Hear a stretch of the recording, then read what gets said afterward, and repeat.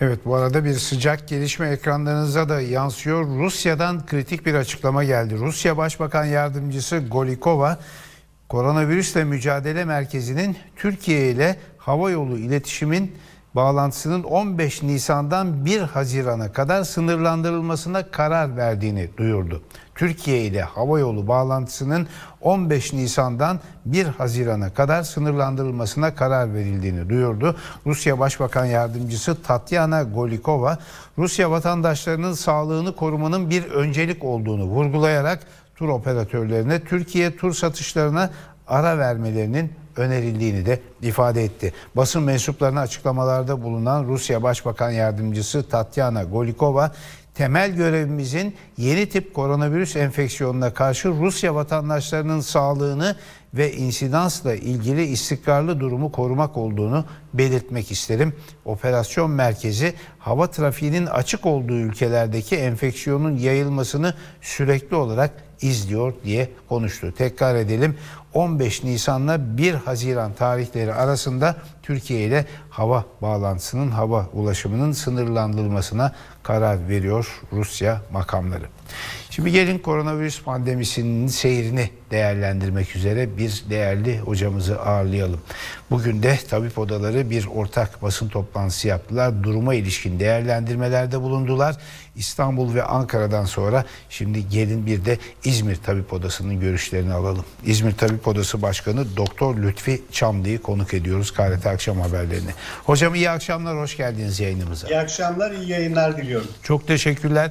İstanbul'daki ve İzmir'deki meslektaşlarınız durumun kritik olduğunu söyleye geldiler. Haftalardır diyorlar ki hastanelerde gerek yatak kapasitesi ama en önemlisi de yoğun bakım yatak kapasitesi artık katlanılabilir noktanın ötesine geçmiş durumda. Yeni ve farklı önlemler gerekiyor. İzmir özelinde siz bu görüşe katılıyor musunuz? İzmir'de durum nedir? İzmir'de de diğer kentlerde olduğu gibi ciddi bir yoğun bakım ve ciddi Covid servisi yatak e, sıkıntısı yaşanmakta. Aslında bu e, bir anda ortaya çıkan bir şey değil. E, günlerdir, haftalardır gerek Türk Tabipler Birliği gerekse tabip odaları yaklaşmakta olan bu e, felaketi haberdar ediyordu vatandaşlarımızı, söylüyordu. Vaka artışlarının eğer önüne geçemezsek birinci basamakta bu vaka artışlarını, bulaş zincirlerini kıramazsak pandemi olgularını hastanelerde karşılamaya devam edersek bir süre sonra sağlık sisteminin buna cevap veremeyeceğini defalarca söyledik. Diğer tabi odasındaki meslektaşlarımız da iletti. Ama bu iddialarımız, bu görüşlerimiz ne yazık ki bir e, karşılık bulmadı ve gelinen noktada şu anda İzmir'de yoğun bakımlarda bir boş yatak bulabilmemiz pek söz konusu olmuyor. Acil servislerde boş yatak bekleyen vakalarımız ne yazık ki var. Şimdi e, Sayın Lütfi Çamlı siz sahadaki durumu bu şekilde görüyorsunuz, yaşıyorsunuz daha doğrusu sağlık çalışanları olarak doktoruyla, hemşiresiyle, bütün hastane personeliyle, sağlık e, ocakları personeliyle. Ama sokağa baktığınızda insanların çok fazla bu işin ayırdığında olmadıkları gibi de bir manzara var. Ben en azından İstanbul'da sokağa çıkma yasağı denilen o benim de çok anlayamadığım biraz gevşek e, yasak günlerinde bunu gözlemliyorum. Peki siz bunu gördüğünüzde ki İzmir'de görüyor musunuz bilmiyorum. Siz bunu gördüğünüzde neler hissediyorsunuz bir sağlık çalışanı olarak?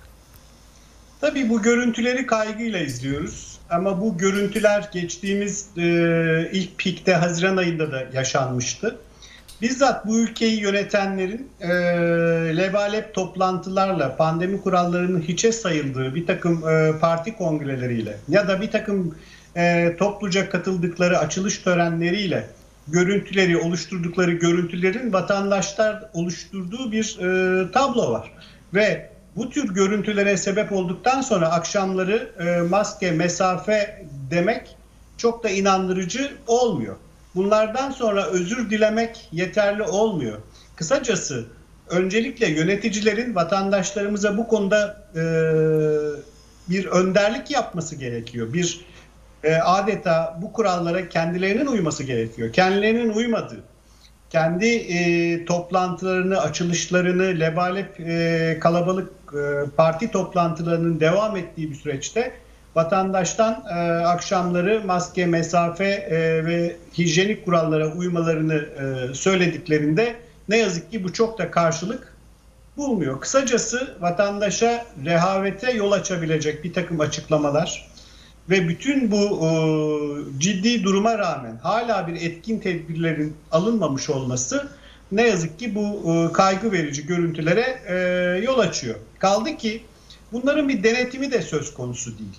Yani baktığınız zaman hafta sonları sokağa çıkma e, kısıtlaması olmasına rağmen e, sokaklarda baya bir e, insan görmekteyiz. Ya da e, kafeler, restoranlar için belli kısıtlamalar olsa bile bunlara çok da uyulmadığını ama bunların çok da denetlenmediğini görmekteyiz.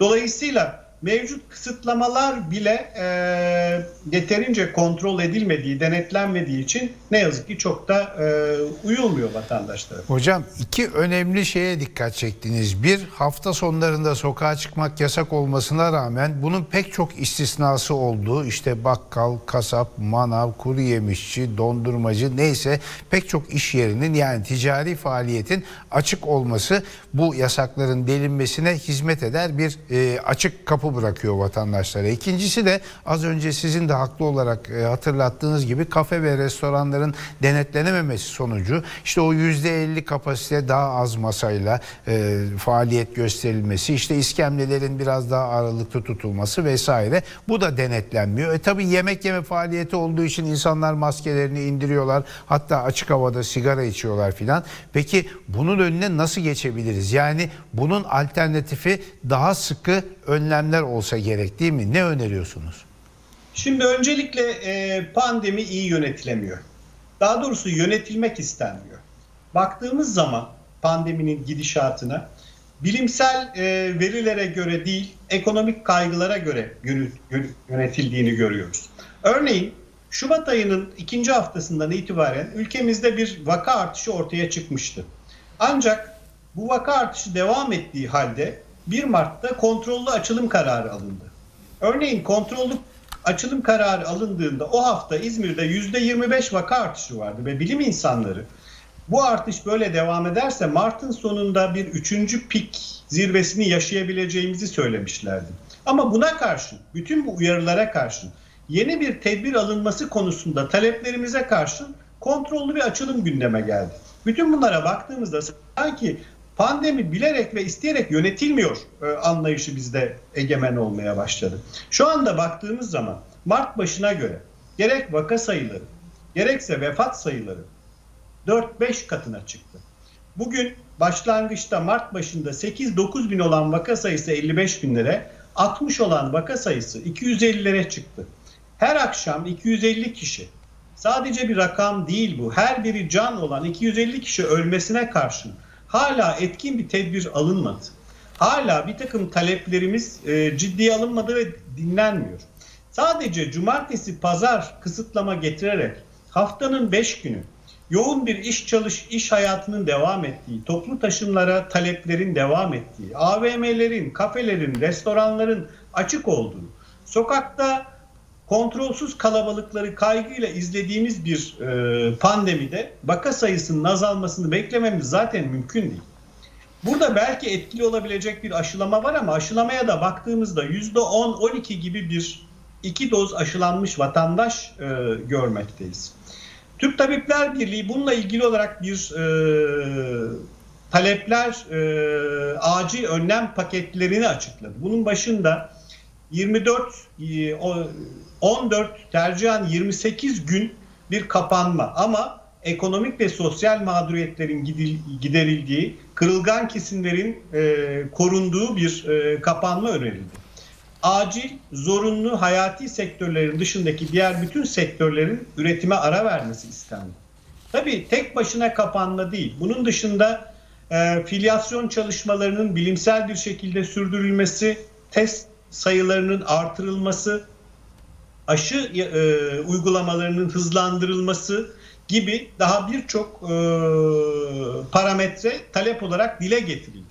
Ama ne yazık ki bu taleplerimizin e, bir karşılık bulmadığını görüyoruz. İşte bu yüzden Perşembe günü 15 Nisan Perşembe günü saat 12.30'da Türkiye'nin dört bir yanından tabip odaları, tabip odaları yöneticileri Ankara'da Sağlık Bakanlığı'nın önünde gür bir sesle bakanımıza, Sağlık Bakanlığımıza sesleneceğiz. Taleplerimizi şu ana kadar duyulmayan, kulakların tıkandığı taleplerimizi bir kere daha haykıracağız. Peki hocam Artık- bu arada e, özür diliyorum sözünüzü böldüm ama bu arada bugün Bilimsel Danışma Kurulu toplantısı var. Sağlık Bakanı'nın önümüzdeki dakikalarda bir açıklama yapması bekleniyor ve yarın da Cumhurbaşkanı'nın kabine toplantısından sonra bir açıklama yapması bekleniyor. Buradan sizin e, daha etkili bir önlem çıkacağı beklentiniz var mı ya da tahmininiz var mı? Bilim kurulu toplantılarının e, sonuçları ne yazık ki kamuoyuyla paylaşılmıyor. Bu ülkede bilim kurulunun aldığı kararların ülkeyi yönetenler tarafından dikkate alınıp alınmadığı belli değil.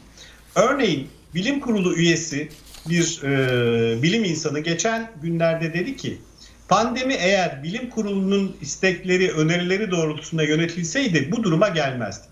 Buradan anlıyoruz ki ülkeyi yönetenler bir bilim kurulunun e, görüşlerini çok da ciddiye almıyorlar. Dolayısıyla bu bütün artan vakaların, e, ölümlerin sorumlusu kim? Bunları gerçekten merak ediyoruz. Peki efendim çok teşekkür ediyoruz yayınımıza katıldığınız için sağ olun. İyi yayınlar diliyorum. Sağ olun efendim. İzmir Tabip Odası Başkanı Doktor Lütfi